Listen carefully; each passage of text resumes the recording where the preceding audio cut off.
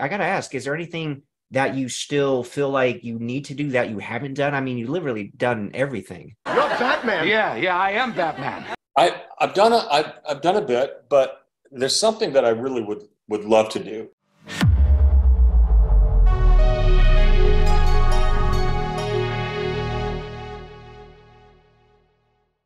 Hey guys, welcome to part three of my interview with Lorenzo Lamas. This is the final part, and we go off with a bang. He's going to share his wisdom and life advice with us at the end of the video. We're going to talk about all kinds of cool stuff in this. Uh, so, for example, if you're discovering or rediscovering Lorenzo Lamas, he's going to give us his top three films you need to check out. So much in this video. By the way, check out the other two videos of great content there. Uh, also, check out his book linked in the description below. I highly recommend this book.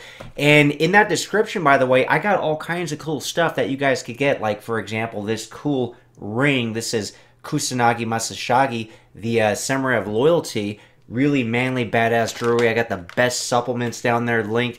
Everything I put in the descriptions of my videos, by the way, I'm only going to recommend stuff that I personally use myself, like books like this, jewelry like this, supplements like this. I can even save you a ton on your wireless bill, man. You guys got to click that link below. You know, reputation is everything, so I'm only going to recommend Really good stuff for you. But regardless, please help support the channel by liking the video, commenting on the video, subscribing if you're not subscribed. Just engage with the video and then YouTube will be happy and I'll be happy and then we could really kind of get these videos out there because everybody needs to watch, especially this one, but all three parts of that Lorenzo Lamas interview. Speaking of Aikido, have you ever met and or trained with Steven Seagal?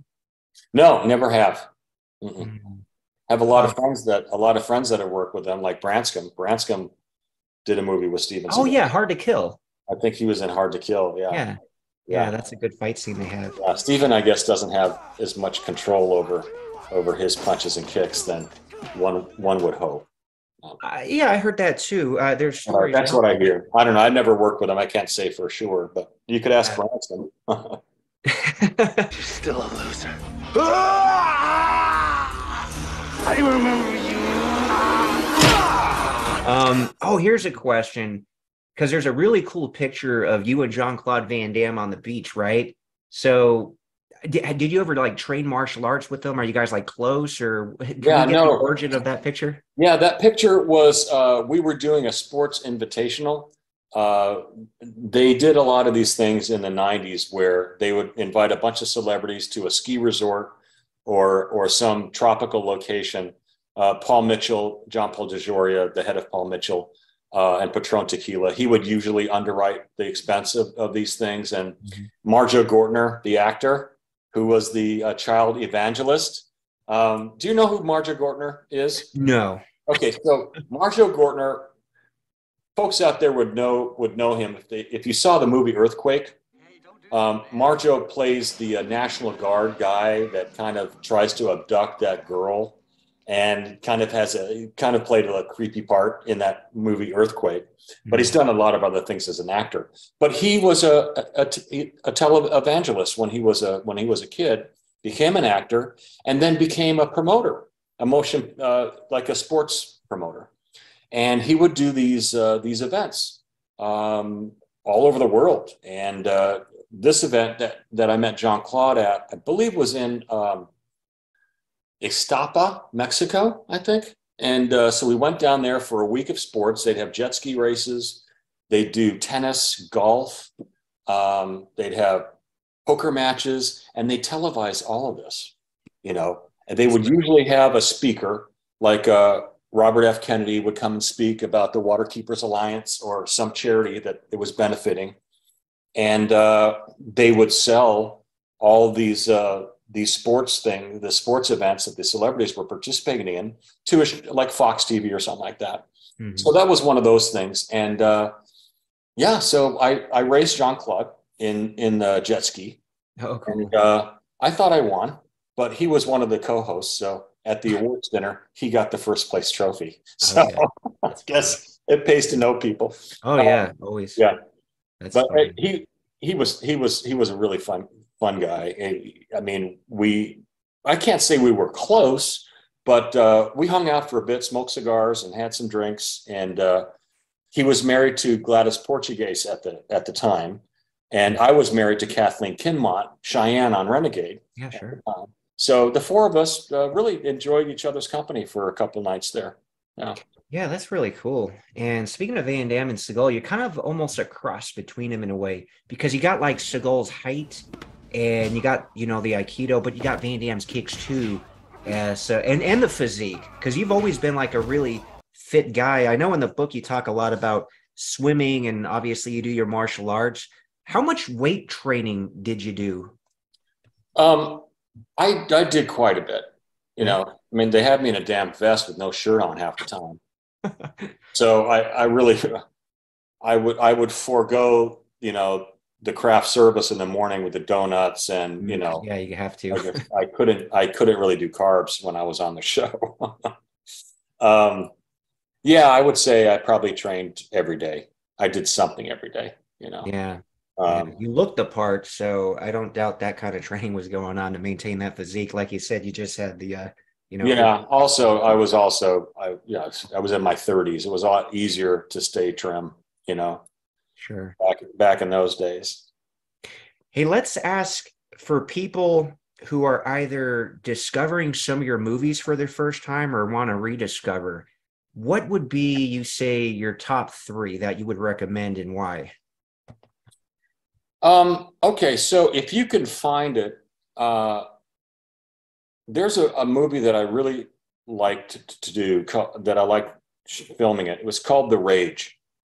I played an FBI agent, Mhm. and it's with Roy Scheider and Gary Busey. Do I look like I need a psychological evaluation? Not at all. Oh, wow. and and it was really a really well well produced movie. I'd say it didn't have a lot of martial arts in it, but it's a it's a part that I'm proud of as an actor. Mhm.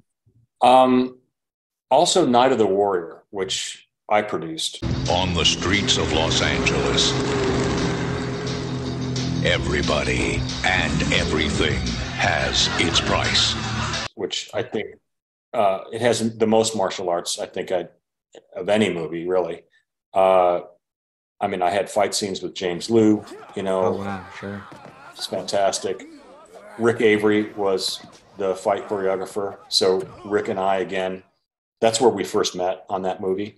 And then I did Renegade years later.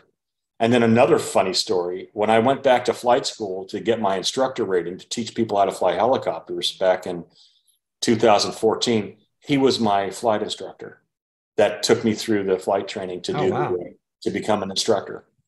That was that was just Rick Avery and I have this uh, you know this this great friendship that goes through aviation, martial arts, and movies and television. So Wow. Yeah, it's it's it's he's a great guy, and he's such a phenomenal athlete himself. You know, he's a master. He's a master uh, gold medal winner boxer Wow.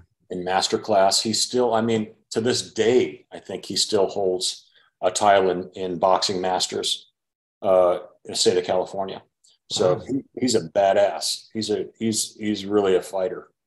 Sounds- Um, so I'd say the Rage with with uh, Roy Scheider, um, Night of the Warrior, which was with me and uh, James Lew, Mhm. and then um, Final Impact. I think was a good one. There you one. go with Jeff Langton, of course, and Michael Yeah. Worth too.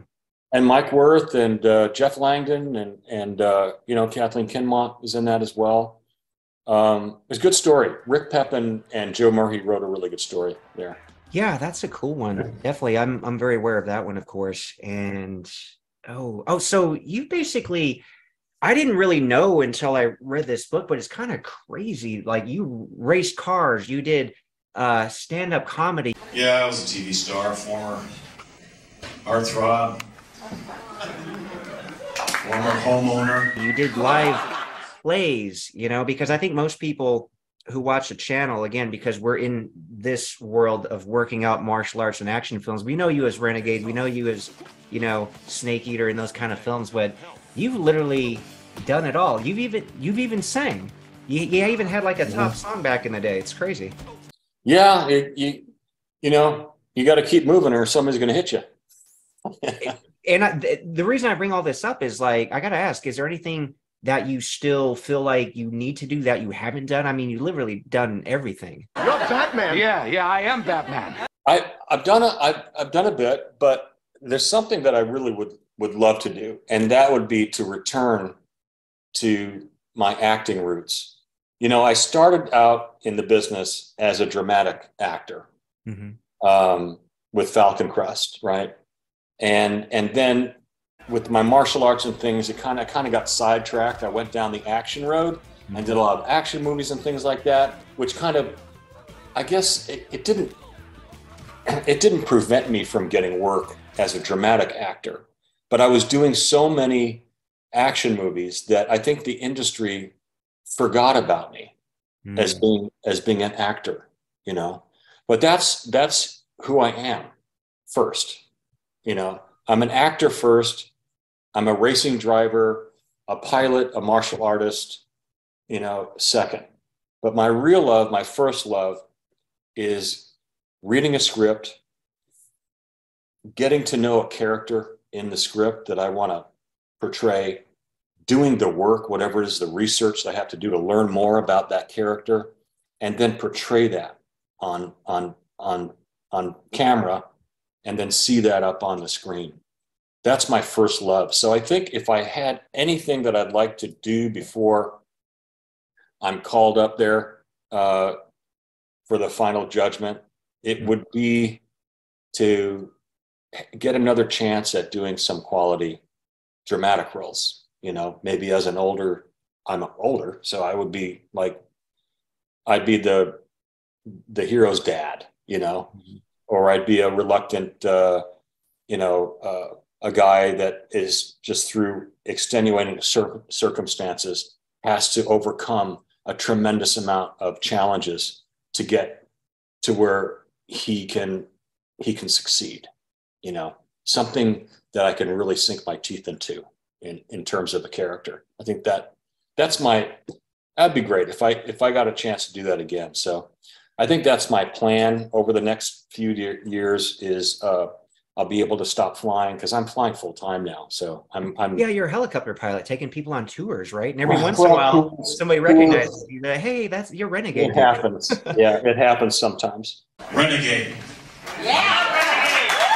Where I played a shirtless, long-haired, Harley-riding bounty hunter. An outlaw hunting outlaws. A renegade.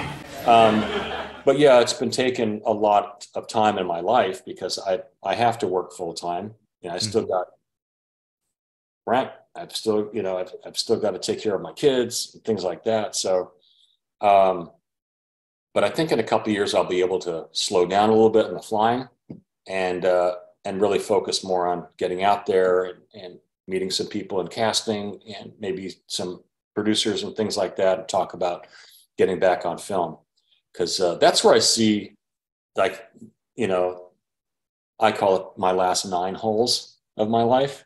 I see myself in front of the camera more. Yeah, that's cool. Yeah, I hope to see you get the show that you want. Uh, some people were asking, hey, you know, would you be interested in rebooting Renegade? Or hey, how about Expendables 5? But it seems like you want to be more into. I've done the action thing. Uh, let's just kind of go more acting dramatic. Yeah, I mean, here's an example of of an of an older actor that can do both. Liam Neeson. Thank you. Perfect Right. example. Yeah. He can still kick butt when he needs to kick butt, but his character is always weighted in in the reality of a good script. you Mhm. know so it's not just he don't we, we don't see liam neeson just doing action movies just to kick ass his character is rooted in in in truth you know there's some truth of what his character is going through that's all i'm saying Yeah, that'd be perfect. That would be perfect. And just one last thing, because you've experienced so much, and you do share quite quite a bit in this book. Again, I recommend that to anybody watching this. Uh, can you share like the top three life lessons that you've, you know, you obviously have a lot of wisdom because you have all that experience with so many different things. oh, wow um i'd have to give that some thought um well my father told me when when i was younger i was probably in my 20s and he said you know think fast, but speak slowly. Because once you let the words come out of your mouth, they're there to sit forever. Mm. So choose your words carefully, but always be thinking ahead, you know. So I mean, those are I I, li- I try to live by those those those words, you know. And you know, another another good principle that I've learned over time is to, you know, never say anything to anybody that you wouldn't want said about you. Just that's simple. It just keeps it so simple, you know. Yeah. Before you open your trap to say some stuff about somebody that did you wrong, just sit on that, man. Count to five, because those words again are out there in the universe forever. Mm-hmm. And uh, I do believe that there's karma. I believe in that tremendously. I also believe that there is a, a universal mind that's controlling the world, the universe, all the things that happen, good and bad in our life, whether you want to call them God or Allah or whatever it is, it's a universal mind, a power. Mm-hmm. And uh, we can harness that power as long as we have a, a good, positive thought behind it, right? So people say, well, you know, I, I pray at night. I say, okay, well, like, what do you, what do you pray for? Well, I pray that that person that, you know, stole my bike when I was 10 gets run over by a train. I go, okay, that's like, you don't want to pray that way, you know? So we want, we want to think positive in our life. We want to create positive energy around us because like the law of attraction, the mm-hmm. more we put out there positively, the more it comes back in the same fashion. You put negative stuff out, you're complaining about things every day of your life to your friends. That negative energy that you're putting out there is like a toxic poison. Big time. It's going to come back. Mm-hmm. So life has taught me that what we put out, we get back. Okay. What we say is there forever. Mm-hmm. And give a person the benefit of the doubt. What is it going to cost to give a person that maybe uh, went against you, like maybe said something bad about you or something like you don't know what this person what that person is going through in life. They could be going through a horrible time. They could have lost a family member. You know, it could have created such uh, turmoil in their in their heart that they weren't really responsible for what they did or what they said. So I tend to give people a lot a lot of the benefit of the doubt, you know, because I want to be treated that way. Oh, of course. Yeah. That's why I'm always so respectful to people in general because I would appreciate getting that in return and it being reciprocal. But that's always my default. I'm always going to be nice. I'm always going to be respectful. And then obviously everybody has their um, you know, level of okay, uh this guy is just not my kind of guy. I want you to be nice. We have a, we have a few everybody has a fuse. Yeah, fuse, sure. Right? So just let it let it burn. Let it. We, there's a lot left. Just let it burn. Burn. Okay, three times, four times. Okay, he messed he messed around with me twice. Okay, that's enough. you know. Until it's time to not be nice. but I tend to have a, a longer fuse than most people. You know, and and I think that it doesn't hurt. Doesn't nobody's going to call you a wimp or weak because you give a person a second, third, fourth chance. You know, in in doing what's right. Yeah. Yeah. Great way to live. Just uh, mental health is going to be way better. I could tell you're a happy, optimistic guy just talking to you, spend this, uh, you know, 45 minutes or so. Yeah. And I really appreciate, and I know the audience will, the whole interview, but especially that message and wisdom. So, yes, everybody needs to watch that multiple times and hopefully live like you do. Well, I don't, I, I don't know anything. Uh, all I know, you know a lot. all I know is is my life experience and the lessons that I've learned, and uh, and that's that's what we're all here to experience our own lessons and our our own uh, you know responsibilities. We all have them. You know whether it's uh, doing your homework, it you know if you're in school, or whether it's taking care of you know a sick mom if you're older. Um, we're all we're all given responsibilities and uh, it's the way we handle them that makes us the people that we we actually end up being so yeah exactly be like be like reno you know i used to say to myself what would reno do in this in this uh, circumstance you know because stephen cannell really wrote a tremendously noble character in Reno. You know, he really, really did. He wrote an amazing character. Uh, I looked up to Reno. I felt it was an honor to portray him on television. I really did. I, I, I looked up to him. I wished I was more like him in many ways. And that's why shows like that are so important. Characters like Reno, uh, characters that Van Damme had played in Lionheart, for example. You definitely got heart, Lionheart. Don't ever lose it because you never get back. It's like growing up and watching, you know, like these were the guys that we want to be like. And it's funny that you say you literally are the character and played the character where even you aspire to be more like Yeah, that character I in real life. absolutely, I absolutely did. He wrote a phenomenal character, and uh, it was a pleasure to to play him. You know? Yeah, absolutely. And again, that show holds up great. And I'll be continuing to watch more on YouTube because I've been catching up to a lot of these these episodes. So yeah, Lorenzo, I know you got to run. I know you're you're a very busy guy, and I do appreciate the time. This this interview was phenomenal. Once again, you know, I got to thank Jeff Langton, of course, for uh, setting this up, and this is a real treat for me and the fans. I enjoyed it. I enjoyed it, David, very much, and I thank you and I thank your fans for watching. And uh, maybe I'll see you on the screen sometime soon.